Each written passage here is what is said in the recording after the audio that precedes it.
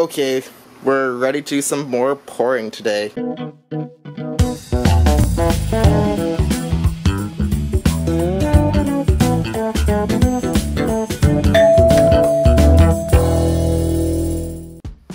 Okay, so we got the mold nice and hot now. And we have the temperature over there.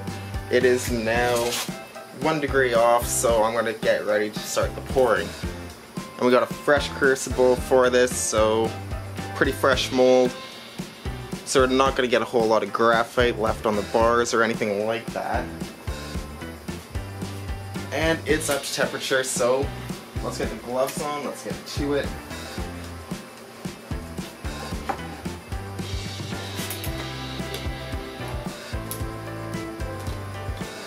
Alright, here we go. Now, I want to make some nice ripples on this. So,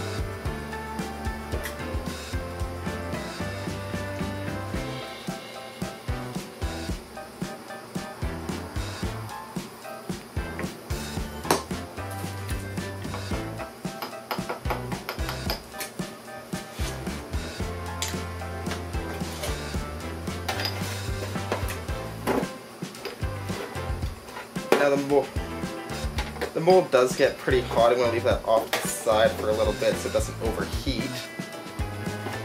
And here we go. So you can see it's still glowing hot. That's where we're at right now. So, yeah, it's not focusing the best, but I'm going to go it a quench.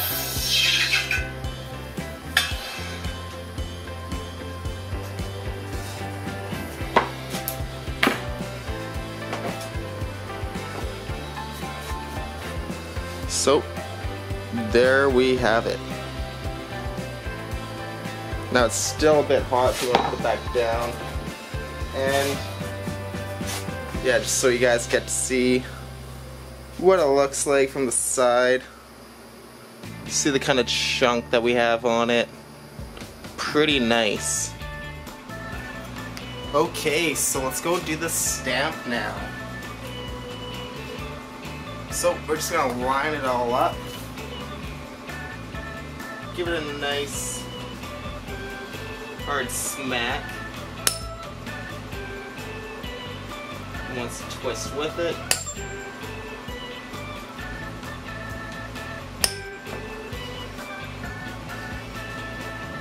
And that came out pretty nice. So, yeah, I'm pretty happy with that. Now it's time to polish it all up. Okay, so it's time to get to polishing up the beaver chunk that we have here. Now since it's all stamped up and everything like that, we have a nice little stamp there. So, yeah, that's going to be the new design because I'm pretty happy with that, being playing around with the new stamp and this is what it's gonna be. Yeah, we're gonna get to the basically polishing up the same as always. Basically get the drill with the polishing bit,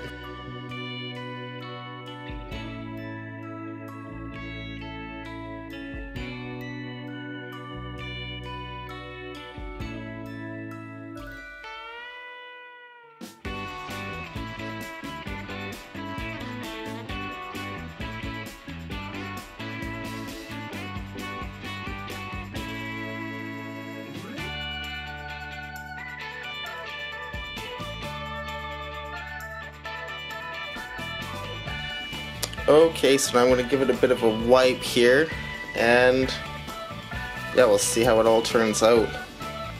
So far, that's just the first step in order to clean it, though.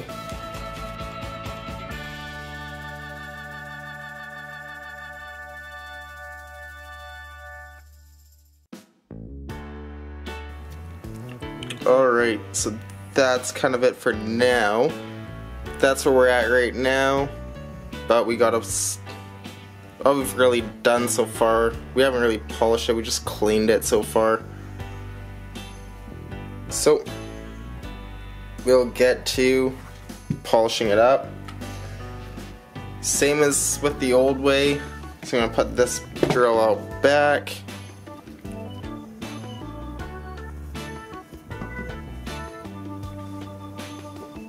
Now just rub it in lightly. Alright.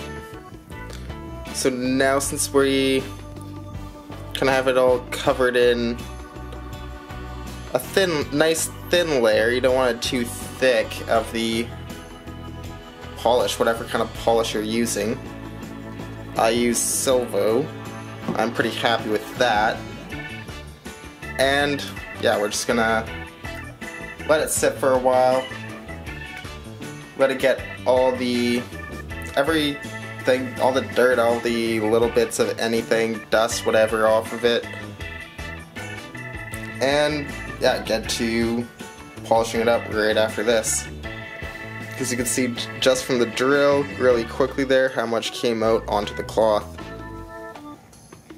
Doesn't look like it, there's anything there, but there really is a lot. So we'll get to that right after it dries. Okay, so let's wipe this all up now. As you guys can see, it's pretty dry. So, I'm just gonna give it a bit of a wipe here. Give it a quick little polish here. I'll do most of the polishing afterwards because yeah, I don't think you guys want to see a hour long video on polishing. If you do, let me know. I got a lot of content your way then, but I highly doubt it. So yeah, just give it a quick little polish. You kind of see it's not perfect or anything right now, but it's got a nice shine. And yeah, just give it a quick little wipe down all the way around.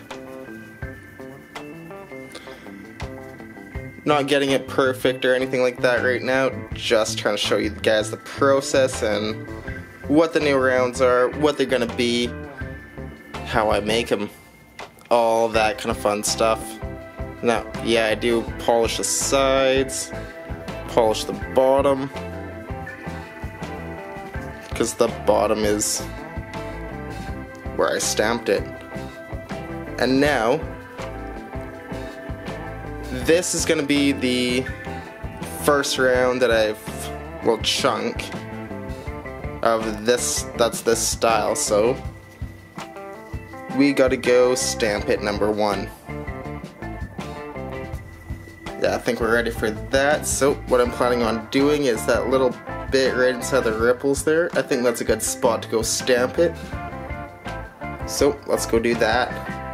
And yeah, we'll go back to the garage there and stamp that in.